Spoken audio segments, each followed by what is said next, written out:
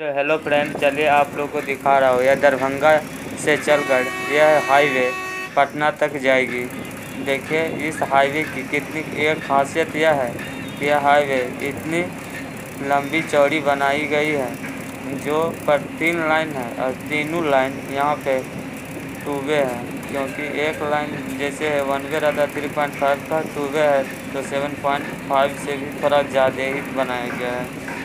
जिसके कारण यहाँ पे कोई ट्रैफ़िक जाम नहीं लगते हैं और कोई एक्सीडेंट की चांस नहीं होती है। देखिए, प्रत्येक लाइन यहाँ पे टू वे है।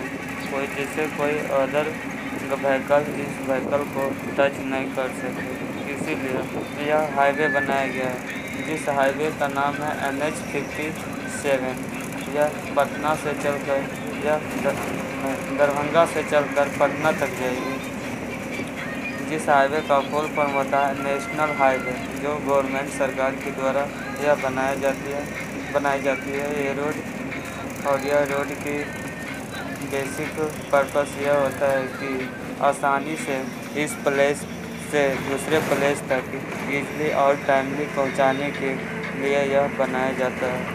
लेकिन इस रोड की इतनी खासियत है इसमें दोनों तरफ़ की लंबाई, चौड़ाई और बीच में पार्किंग की फैसिलिटी दिया गया है। यह फैसिलिटी जो प्रोवाइड किया गया है, यह दुर्घटना से बचने के लिए, जो सेफ्टी पर्पज़ के लिए परंतु जो यह स्पेस बीच में गैप छोड़ा गया है, जिस गैप पे पार्किंग किया हुआ है, आपको दिख रहा होगा झाड़ी की तरह, यह एक पुष्प है।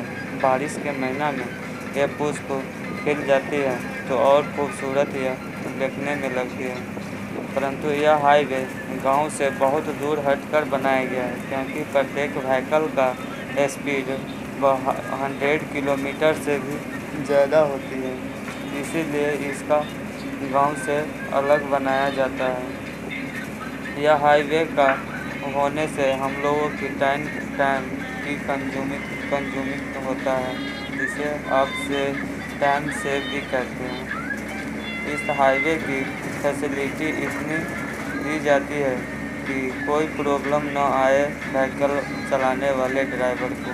देखिए यह हाईवे कितनी स्मूथ है और यह रंगीन टाइप से आपको दिख रहा होगा, क्योंकि इस हाईवे में कोई प्रॉब्लम नहीं रहती है। पूरे कंप्लेन और स्मूथिंग रहती है। यह बनाया जाता है, बनाया गया यह हाईवे का डिज़ाइन यह पूरे इंजीनियरिंग बेसिस पे है और ये हाईवे कितनी खूबसूरत है, देख सकते हैं आप और इसके दोनों तरफ़ यह खेती की फ़सल उगाए जाने से और देखने में और खूबसूरत लगती है।